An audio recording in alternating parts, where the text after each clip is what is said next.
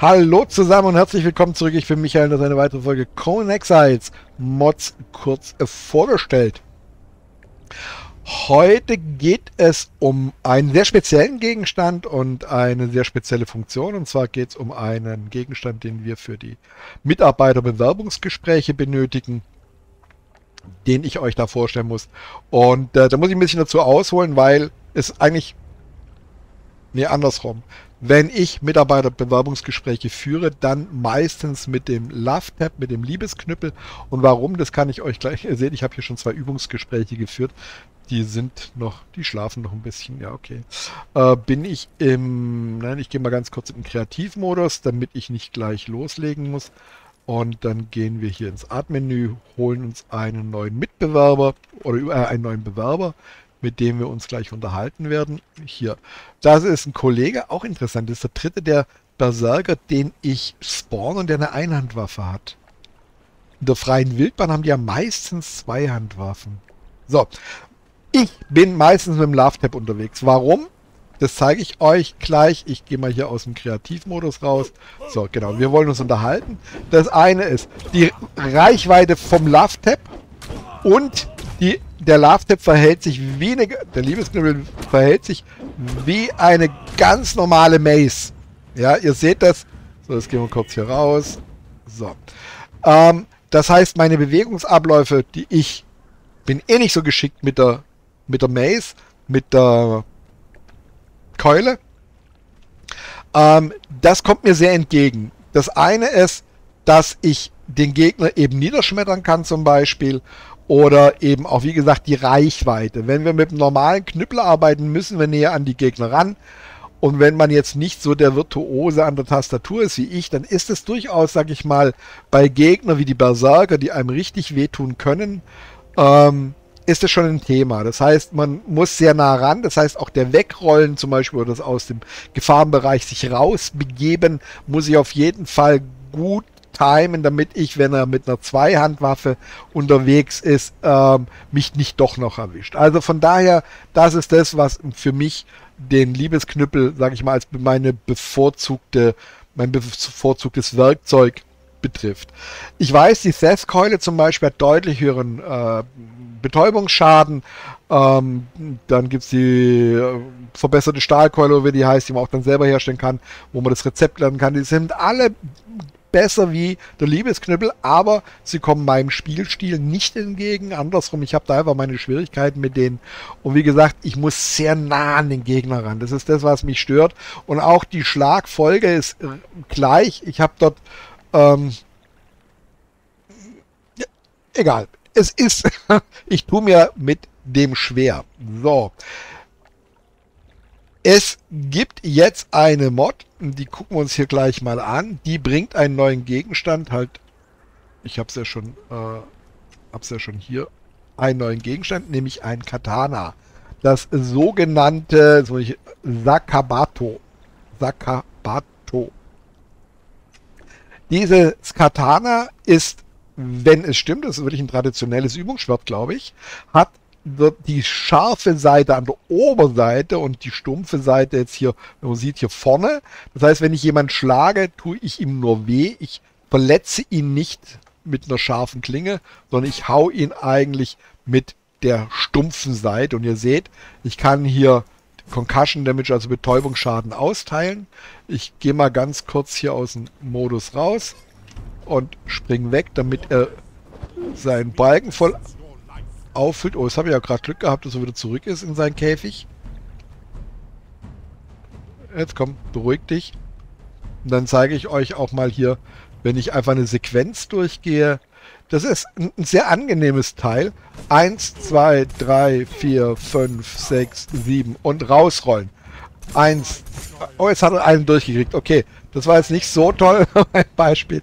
Aber ich kann hier recht schön äh, zuschlagen. Ich stunne. Ich habe eine recht kurze, schnelle Schlagfrequenz. Das ist schon mal ganz gut.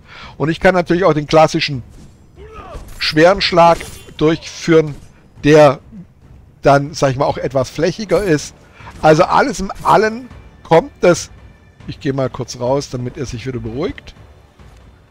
Alles in allem kommt mir diese, dieses Werkzeug, diese Waffe sehr, sehr, sehr entgegen. Das eine ist, ich habe die Möglichkeit hier den Gegner mit einer gewissen, auf eine gewisse Distanz schon zu schlagen. Ich muss nicht so nah an ihn ran, wie ich es mit einer regulären Keule müsste. Ich habe eine interessantere Schlagfolge, eben hier, die, wenn ich mit dem leichten Schlägen zuschlage, die klassischen kurzen, schnellen Schläge. Ich muss bloß mal kurz, kurz gucken, hat er sich wieder beruhigt. Ne? Ja. Äh, die kurzen, schweren Schläge, äh, die kurzen Schläge. Und ich kann es eben dann zum Beispiel auch kombinieren. Eins, zwei, drei und vier und rausrollen zum Beispiel. Also man kann, wenn man eh mit dem Katana einen Charakter hat, der mit dem Katana kämpft, ist das, was wir hier tun, eben genau das, was wir mit dem regulären Katana, wo wir einen Gegner erledigen wollen, eben auch tun. Das heißt, man muss sich nicht großartig umgewöhnen, aber für mich persönlich einer der ganz großen Vorzüge von diesem Werkzeug ist wirklich die Reichweite. Ich finde die sehr gut. Und ähm, von daher bin ich, weil ich auf zwei Surfer mit Katana spiele, nämlich auf bei uns auf Raven iOS und Raven SW. Beides Mal habe ich einen Katana Charakter und da bin ich schon am überlegen, ob würde sehr gut reinpassen, die Waffe. Und äh, sie ist auch nicht übertrieben, was den Schaden angeht. Ihr seht, sie ist jetzt nicht besser wie zum Beispiel Liebesknüppel. Und der ist ja eh nicht der beste, äh, das, das beste Werkzeug hier für Mitarbeitergespräche. Das heißt, die ist vom Balancing her passt die sehr, sehr gut in eine bestehende Umgebung rein, ohne dass die jetzt alle anderen nutzlos macht, sondern sie kommt einfach den Leuten entgegen, die sagen, ich sehe da einen Vorteil für mich drin, wenn ich die nutze und deswegen will ich die nutzen. Und alle, die sagen, nee, die Theft-Keule ist und bleibt für mich, ich komme auch gut klar damit, äh, immer noch die erste Wahl. Ja, gerne. Das ist genau, so soll der Conan sein, das ist immer das, was ich sage. Jeder von uns war, durch dass wir nicht PvP spielen, kann Conan spielen, wie er will. Es gibt faktisch kein Meta. Du musst mit der Rüstung und dieser Waffe rumlaufen und dieser Keule. Ansonsten machst du hier keinen Stich in dem Spiel. Das haben wir ja Gott sei Dank nicht. Und von daher passt es ganz gut. Ähm, was die Kosten angeht, die Waffe kostet 22 Sternmetall und eine ein Waffengriff muss am verbesserten Schmiedewerkbank hergestellt werden. Hier, da ist sie. Ja, also 22 Sternmetall, ein Waffengriff gibt diesen Ding. Ich kann auf die Waffe ganz normal einen äh, verbesserten Aufsatz für stumpfe Waffen drauf tun, um den äh, Betäubungsschaden zu erhöhen. Also da verhält sich wie eine normale Keule oder eben auch wieder Liebesknüppel, also das passt alles. Ähm, für die fürs Erlernen muss ich, und das ist das, wo ich ein bisschen schade finde, aber da bin ich am überlegen, ob ich vielleicht den Autor mal anhaue, und zwar was ich brauche. Initial ist die zweihändige Waffengeschichte. Die muss ich freigeschaltet haben. Wo sind wir hier? Zweihändig episch. Ich muss das reguläre Katana freigeschaltet haben. Äh, wo ist das reguläre Katana? Irgendwo in der Liste ist es reguläre da. Sternmetall-Katana, das muss ich freigeschaltet haben, das ist halt teuer, das kostet mich 13. Das heißt, deswegen kommt es denen entgegen, sag ich mal, die eh mit einem Katana-Typ spielen. Und dann kann ich es freischalten und kostet es noch 5. Das ist für mich okay. Ihr wisst, ich bin ja sonst immer ein Fan, wenn hier diese Zusatzkosten, die über Mods rein, für Gegenstände über Mods reinkommen, niedrig sind. Auf der anderen Seite ist hier eine Funktionalität, also nicht nur ein Aussehen dahinter, nicht ein Skin, sondern wirklich eine durchdachte Funktionalität. Oder kann man das durchaus akzeptieren? Das heißt, wenn ich dann mit diesem Objekt arbeiten möchte, und das wäre ja ähnlich, als wenn ich jetzt hier mit stumpfe Waffenspeer, den ich übrigens auch relativ gut finde, und ich finde es schade, dass es den nicht in einer höheren Kategorie gibt, weil da habe ich ja genau dasselbe, da habe ich eine relativ gute Range damit und äh, von daher, wie gesagt, für mich persönlich passt es rein. Das eine ist, die Funktion passt, äh, es ist nicht over, also nicht overpowered der Gegenstand. Ich finde, er passt in der Summe rein. Und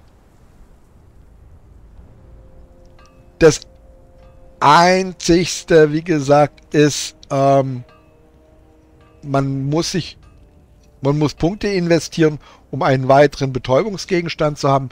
Finde ich akzeptabel. Wir gehen mal ganz kurz nochmal auf die äh, auf die Seite hier. Die Mod ist von Ende letzten Jahres, Oktober 23. Leider bisher keine, also es gibt wahrscheinlich auch keinen Grund, sie zu aktualisieren, wobei natürlich es mich beruhigt hätte, wenn diese Mod einfach nach dem letzten Update einfach hier auch nochmal durch den Updater gejagt worden wäre. Und was mich, die letzte Reaktion ist vom November. Also es gab hier nochmal äh, Fragen. Es gab dann im Februar keine Reaktion drauf. Das lässt ein bisschen vermuten, dass der Autor vielleicht hier diese Mod aus dem Fokus verloren hat. Ist es schlimm für mich? Für mich in, im Moment nicht. Warum? Weil sie genau äh, in meine Lieblingskategorie reinpasst. Die Mod macht eine Sache, die macht sie gut. Und wenn sie hier rumzickt, fliegt sie raus, weil sie bringt einen Gegenstand ins Spiel. Und äh, wenn sich jetzt, warum auch immer, rausstellen würde, sie verträgt sich mit irgendeiner zukünftigen anderen Mod nicht, die ich in die Liste nehme. Oder, oder, oder. Oder nach dem nächsten Update, wenn das kommt, funktioniert sie nicht mehr, wie sie soll. Dann schmeiße ich sie raus. Das heißt, ich verliere äh, 22 Sternmetall und einen Waffengriff, weil dann ist der Gegenstand nicht mehr bei mir existent. Und ich habe aber auch keine Probleme mehr. Also das gefällt mir sehr gut. Und wie gesagt, kommt meinem Spielstil sehr entgegen und auch meinem Wunsch sehr entgegen, wie Mods zu handhaben sind. Also von daher von meiner Seite auf jeden Fall Daumen nach oben für diese Mod. Und ich bin am überlegen, ob ich sie in die Modliste aufnehme und wird natürlich dann auch bei mir im Exile Lens dann, wenn ich sie aufnehme, äh, auftauchen, weil ich versuche die, wo es Sinn macht, die Modlisten auf den drei Surfern gleich zu halten. Ja, wenn euch die Mod-Vorstellung gefallen hat, ihr kennt die Bettelei, kommt jetzt wieder, seid so nett und äh, gebt mir einen Daumen nach oben. Das freut mich immer, aber natürlich auch gerne Kommentare schreiben. Da würde mich interessieren, ist das jetzt zum Beispiel, wo ihr sagt, hey, nee, cool, das ist, kommt mir auch entgegen, diese Reichweite kommt mir entgegen. Das, die, der Bewegungsablauf ist ja der, den wir eigentlich beim Kämpfen hier schon mit dem Katana kennen. Das ist ganz cool. Ähm, ich bin überzeugt, dass der ein oder andere sagen wird, nee, nee, ich bleibe bei meiner Seth-Keule, aber wie, das habe ich ja vorher schon gesagt, völlig in Ordnung, aber mich wird trotzdem mal eure Meinung dazu interessieren. Und ähm, Kommentare gebettelt nach dem Daumen nach oben. Als kommt die zweite Battle-Orgie Abo. Wenn ihr noch nicht zu den über 1250 Abonnenten gehört, könnt ihr euch ja überlegen, diesen Kanal zu abonnieren. Daumen nach oben und das Abo hilft mir im äh, YouTube-Algorithmus nach oben zu krapseln, damit meine Videos mehr Leuten vorgestellt werden, was ich natürlich gerne hätte, weil die, die dann vielleicht wiederum gut finden und wieder, ihr merkt's, das ist dann ähm, eine, ein, ein, ein, ein Selbstläufer hoffentlich. Man weiß es nicht. Ja, also Betteln abgeschlossen. Ja, dann kommt der Hinweis, wenn ihr Mods in Aktion sehen wollt, dann könnt ihr gerne meine anderen Gameplays anschauen oder meine anderen Serienplaylists anschauen. Ich habe ein äh, Playlist jetzt hier äh, Age of War, Kapitel 4.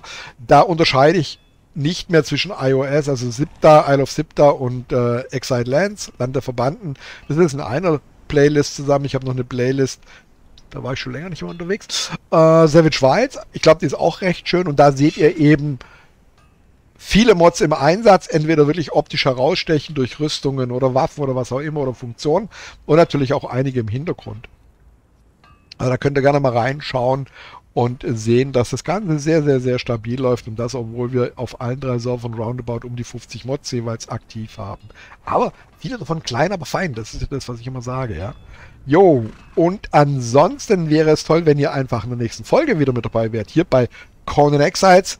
Mods kurz vorgestellt. Bis dahin, macht's gut. Tschüss zusammen, passt auf euch auf und immer schön gesund bleiben. Bye.